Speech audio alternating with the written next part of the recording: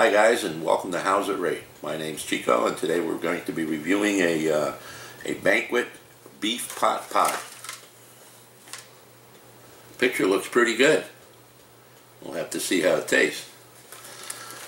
Now normally I go through the ingredients and such here, but we're going to kind of, um, since this is not the first pot pie that we've done by, by um, uh, Banquet, we're going to go through it real quick, okay?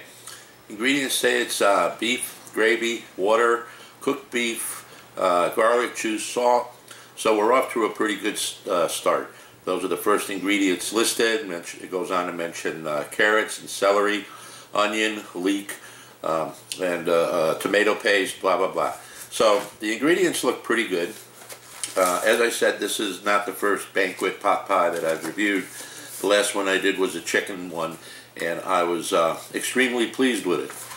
80 cents at Walmart. Yeah, I know, Walmart. Um, it's a 7 ounce portion, okay, and uh, uh, cooking instructions are the same for most of the frozen dinners. Okay, they 1100 watt oven, um, blah, blah, blah, blah, blah. Uh, you know, um, pretty easy stuff, and it can also be cooked in the conventional oven.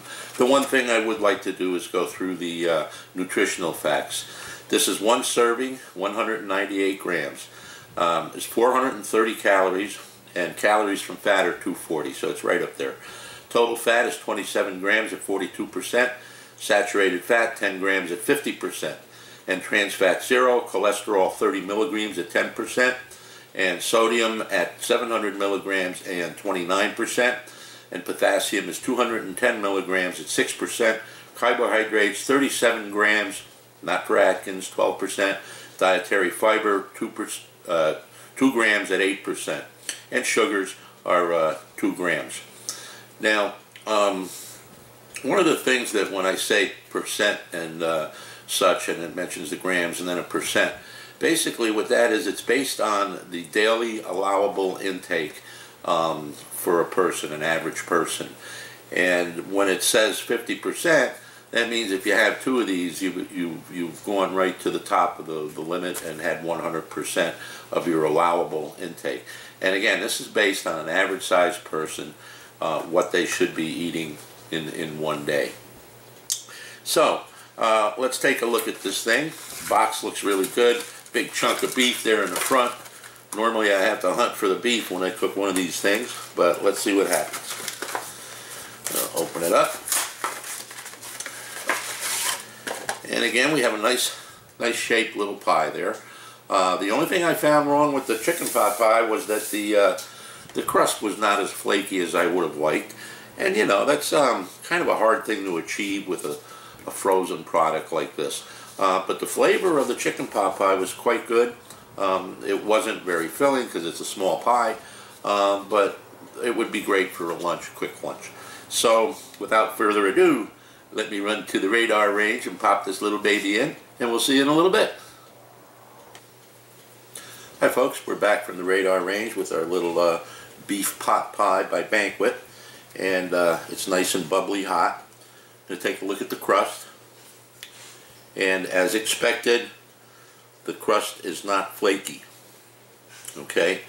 Um, but, I mean, that would be pretty difficult, I think, for a, a frozen product such as this. But let's give it a taste and see what we've got.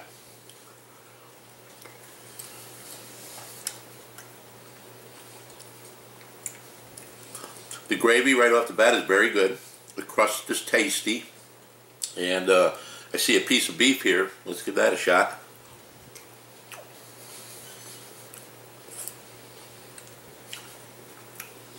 Nice and tender. Very nice taste.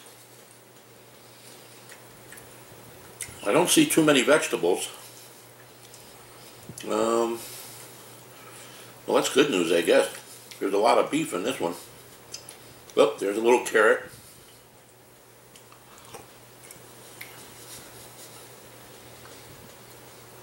There's still a little tooth to the carrot, and I got a good mouthful of the gravy and some crust on that. It's very good. So, um, based on the cost, which was 80 cents, okay, the serving size is 7 ounces. Um, The crust is not flaky, not not as flaky as I'd like to see it, but it's tasty. Um, gravy's really good, and the meat's very good, and the vegetables. I would have to rate this at a four and three quarter.